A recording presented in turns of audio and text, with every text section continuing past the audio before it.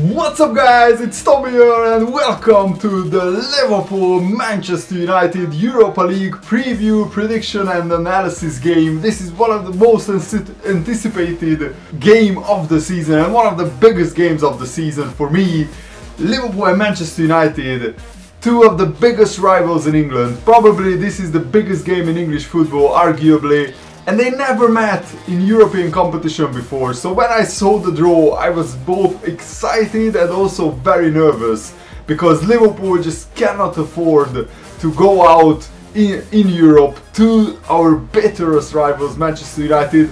But recent uh, stats don't look very good. Manchester United have won the last four encounters in the league and uh, since David Moyes got sacked. Liverpool always lost to Manchester United in the last two seasons, so we have to fix that. But Jurgen Klopp said that he wanted Manchester United in the draw, and I think he has a fully fit team now. Well, not a fully fit team, but a much fitter team with a lot more players available to him. And I think the, the key to this game will be the midfield battle. But before I get into the analysis, let me know your prediction for the game which uh, which battle will decide the game and who will go through. Let me know in the comments below. And also, uh, if you are a neutral fan, which team is better to watch? Um, is uh, the Liverpool football better to watch? In recent recently, we have hit uh, some form, but the thing with these games, these these huge huge games, form book goes out of the window. In the last four meetings, I have some stats to give to you guys. Liverpool had 53 shots, Man United had 33. Remember, these last four meetings were won by Man United. Shots on target 18 to 14. And also the goals, two goals scored by Liverpool, nine goals scored by Manchester United. So basically, Manchester United scored nine goals from 14 shots on target. And that's, that says a lot. In, on the other hand, Liverpool scored 2 from 18 shots on target, and I think to the, to the key to this game will be the goalkeepers and the defenses, because I think both teams have very good attacks and very good midfields. But at the moment, with Smalling back for Manchester United and De Gea in top form, their defense is better than Liverpool's defense, and that's where we have fallen to them in recent seasons, because basically in, for example, the game at Anfield, we created loads of chances. We should have scored two or three goals. We didn't. De Gea made incredible saves and we made some bad, bad misses in front of goal. And Manchester United had one shot on target. They scored from and they won the game 1-0. So I think Liverpool will start off the game with that high pressing, high tempo game. Man United will try to slow down the game and that will be the key. Who will dictate the game uh, speed, the game of play, and also the midfield battle.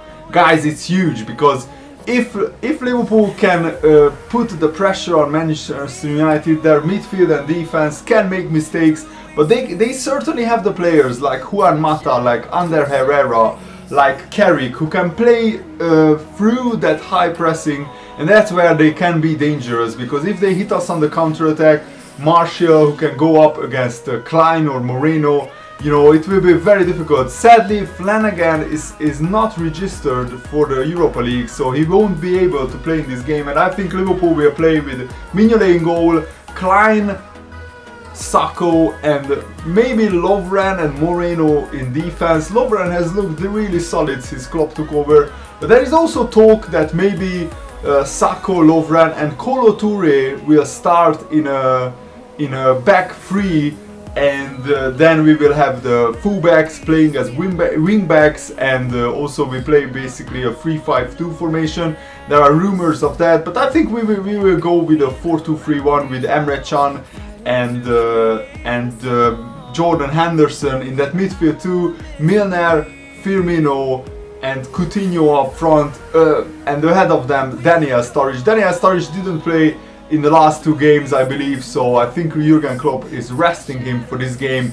And uh, basically the game will turn on if Liverpool can score their chances because I think we will create chances at Anfield against Manchester United. The big question is, can we score first in this game because that would be huge. And we, I, I believe that we need to win this game. a draw or a Manchester United win, it will be very difficult to go to Old Trafford and, and win there.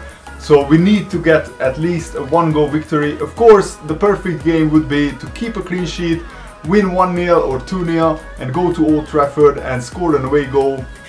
And then it should be no problem but it's it's always these games are always so so difficult so hard to predict.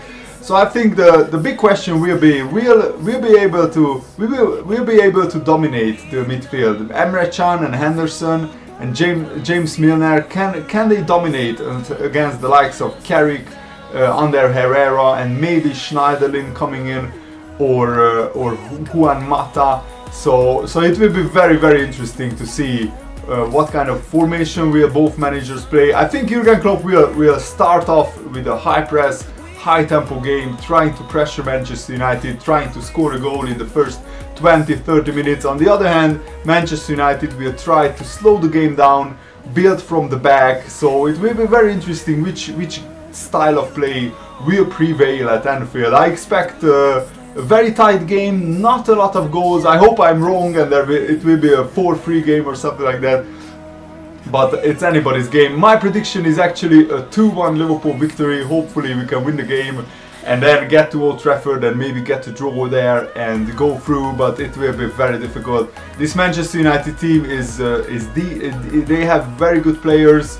They are in in a bad form at the moment losing to West Brom recently, so I think they will be a wounded animal. On the other hand, I trust Liverpool. They have been playing much better recently. Against Crystal Palace, it was a very bad performance in the first 70 minutes, but then we somehow dug out the result, and that should give the players the confidence. And if if we can play like we played against Man City in, at Anfield, where we were brilliant, we won 3-0, I think we have a big chance to beat Man United and go through to the next round. And remember, I think these these games are huge for both teams because I don't think Liverpool and Man United have a big chance of finishing in the top four.